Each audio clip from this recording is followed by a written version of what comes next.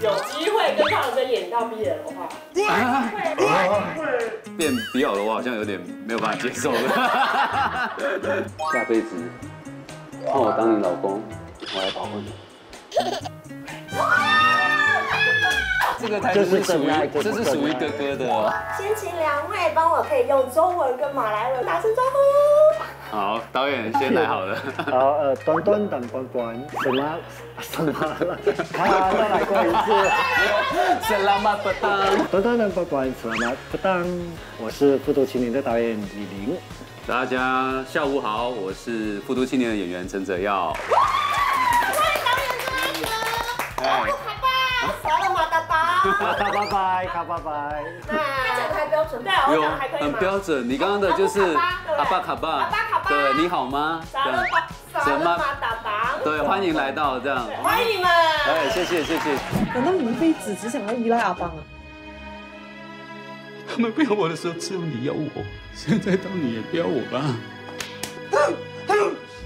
由王丽玲导演执导的《复读青年》，描述伊亚人士、移工和跨性别等社会议题。吴康仁、陈泽耀饰演的两兄弟，剧中彼此扶持的深刻感情，也惹哭了不少观众。每一场戏都会先蕊一遍，那每一次的对戏其实都会情不自禁的流泪。然后康仁哥就跟我说，他说。他说：“迪迪，你不要这样子。”他说：“如果在拍摄现场要来十条怎么办？” 对，他会这样先说了，但他自己也在哭，他自己这样说没有说服力。阿 迪跟阿邦在 Money 节上面跳舞的片段，是是是听。说那部那部分的片段有被删减一些。有有有，因为那一场戏我自己很喜欢，我写了很久，然后我自己很期待这场戏，而且拍摄二十五天里面这场戏是拍最久的，因为我自己觉得我想表达的情感。是串流在这整个空空间里面，两个人拥抱、舞蹈、旋转这样子的一个氛围。可是因为剪接师还是会有他的节奏在做，因为剪接师他一直跟我说，这部电影你不能只是单就一场戏的节奏，你是整个节奏从开始就慢慢铺陈下来，所以再变成你需要面对一些被剪掉的事情。可是我也觉得没关系，就让你剪剪了之后，如果我觉得我不要，我还是把它拉回来再做，我就很任性那时候。其实还有一个和解的一场戏，但导演把它抽掉了。嗯，对，我觉得那一段也蛮有趣的，就是弟弟跟哥哥的那个感情，哥哥来怎么样来哄哄弟弟，就是跟他说好了，我们和好这样子的一个感觉。可是这个被剪掉了，对，大家想看吗？呃，应该不会啊。破译也不会失去吗？呃，波一可以考虑一下。有一个好奇有讲到说那个康仁哥跟那个阿泽私底下就是都会哭，那你们俩谁比较爱哭啊？嗯，我觉得哥哥哭的比我惨哎，在在前置作业的时候，我们在 re 稿的时候，哥哥就可以哭得很动人了，不知道为什么。那可能隐形眼镜，然后太干了吧。康仁因为他他都一直让自己在那个状态里面，所以所有的那个情节或者要讨论东西来说，他很快就在里面。对，在最后跟爸爸相认的过程当中，想要请问那边的设定本来就是两人是没有互动跟台词的。因为对我来说，父亲应该也会吓到他，看到这个很久不见的儿子竟然出现在他面前。我觉得那一刻是凝结，整个空气中是凝固在那种无声的状态里面。因为那一场戏其实，在剧本里面不长嘛，但你可以去把它想得更丰富一点。阿迪回来找爸爸，那爸爸其实他有一个美满幸福的家，他有一个，你看他有做一个面摊，然后有一家店，然后其实也有也有老婆，然后也有小朋友，你其实有人擦肩而过，其实阿迪都看到。剧本里面是这么短而已，但我自己去想的很丰富这样子。那为什么会愿意回去？其实阿迪最后的这个眼神，我只能说我其实有点揣摩哥哥，就是有点像哥哥在看爸爸的那种感觉。阿迪跟康仁哥在互动的积木，很有爱的积木，例如说跳舞抱抱，或者是单穿内裤挂坐在哥哥身上，哇，有一点粉红泡泡哦，阿姨有点出来，好像偏 BL 哦。在拍摄过程中，有觉得害羞或别扭吗？没有哎、其实我们没有去想到会有 BL 楼的元素的这种感觉，就像两个臭男生，其实我们的相处就是这样子啊，对啊，因为兄弟俩在家里，如果你甚至可能今天穿的是三角内裤，也会这样脱剩三角内裤这样，然后一起睡觉。然后也有一些人说，哎，这个两兄弟的感情有点耐人寻味，这样。在剧中也没有真正的血缘关系，那有机会会不会真的有机会？跟胖人演到逼业的话，有会。变比奥的话，好像有点没有办法接受了。我想象不到，因为我现在对康仁哥的情感是哥哥，真的是哥哥。有这个邀约的话，你会接受这个邀约吗？我其实不会说今天是不是演什么比奥了，我只要看剧本有没有办法把自己的表演，或者是自己最想要做的事情给做好。嗯。对，这是我最初的目的，然后最初想要做的事情了。嗯，对啊，小嫩瘦都可以，对，小嫩瘦都可以。为什么当初导演会想要以鸡蛋这个元素 来为兄弟情的象征？其实因为当初我一直觉得兄弟一定有一个很属于他们的私密动作，这个东西只有他们会有的，那是什么东西？后来因为我觉得鸡蛋是一般家庭可以比较负担得到的，而且水煮蛋吃很饱。我国小一个同学他家里很穷。他妈每次给他一颗水煮蛋，可是他每次吃的时候，他不会这样敲桌，他都敲自己头两下。那我就后来想回这个事情，我觉得，哎，这个动作好像很适合在这两兄弟里面。没有敲很多次就是兄弟俩还好反而敲曼妮姐的就对他来说比较痛因为我们兄弟俩就大概知道了我们也会抓一个力道因为我们在排戏的时候都会做这个动作这样。那有一场戏其实是在剧本里面没有的曼妮姐然后阿邦阿迪在吃饭的那一场戏曼妮姐其实没有被敲过她不知道。她坐的比较远一点那我手伸伸直的时候还没有办法碰到她的额头那我就用鸡蛋的那个尾端给他敲下去，超痛的，那个都敲不破。然后敲完以后，他就差点要飙脏话。我觉得哪一幕是让你们觉得最印象深刻，或最感动？哇，我对我来说的话，一定是啊，这样会爆雷呢。对我来说，是我跟哥哥在监狱的那一场戏，道别的戏。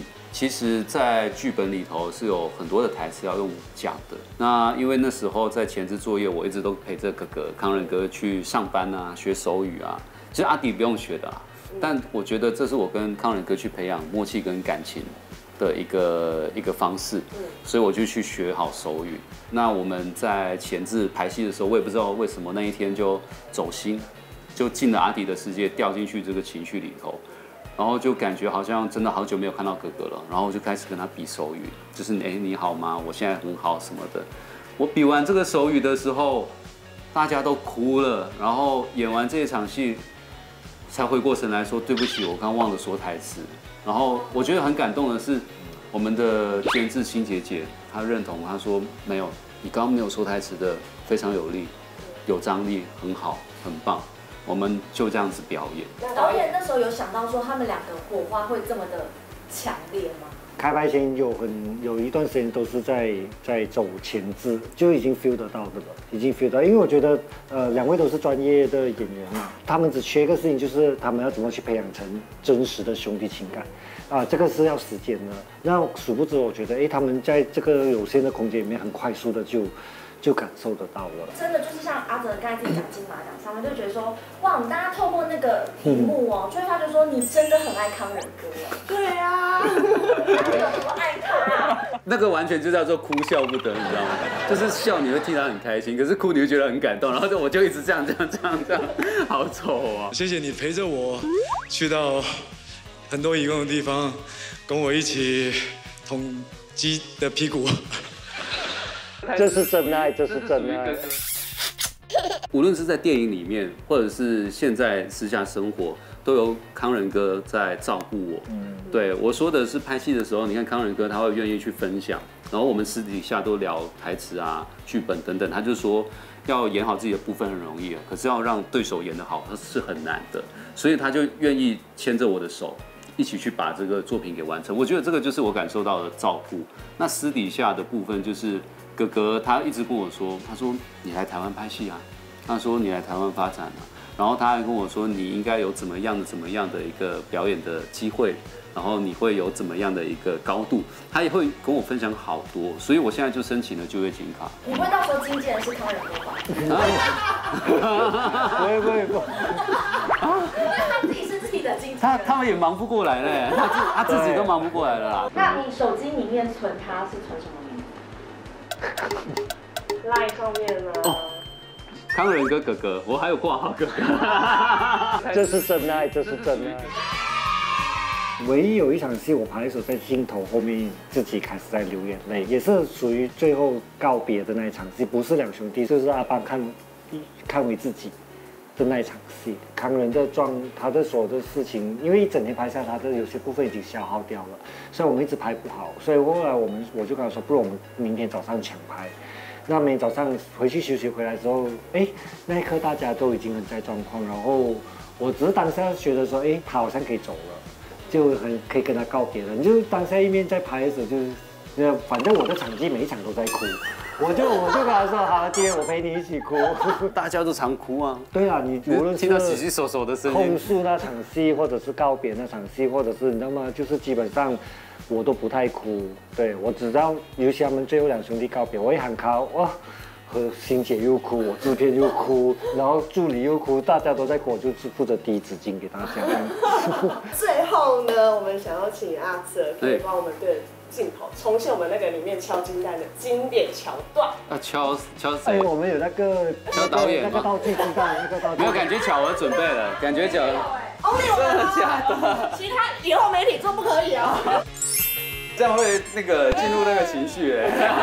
太哭了吧？不要快！我要我要哭了吧？讲那个台词会哭，我要讲别的。而且你要讲那个台词。不要，所以你可以用另外一种心情讲那句话。没有。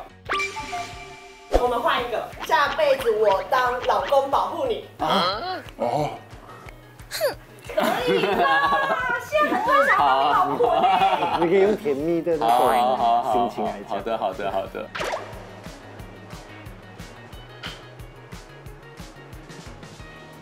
下辈子换我当你老公，我来保护你。这是刚刚阿哲，阿哲眼眶有泪。哦，对啊，因为这个台词是属于这是属于哥哥的。那你最近有发现，就是可能不不不仅女粉丝，男粉丝也变超多。有有有，其实有这次来台湾宣传电影，我觉得我我真的只能说受宠若惊。这个受宠若惊是因为呃，除了影迷朋友们，然后还有记者朋友们，对啊，我特别感受到记者朋友们哎也很喜欢电影，然后他们就认识了阿迪到陈哲尧，在我的 IG 跟脸书我都收到好多的私讯，就是跟我分享他们看完电影，然后很喜欢，然后哎也希望我多点来台湾这样子。不要这样，我现在情绪要回不去。我们的电影《复读青年》已经在台湾上映啦，很好哭，很好看，请来看，请来哭。赞赞赞！好，谢谢谢谢谢谢。啊，你们也太用心了，最后那两两段。《复读青年》已经在全台热映了，大家记得进电影院支持，谢谢。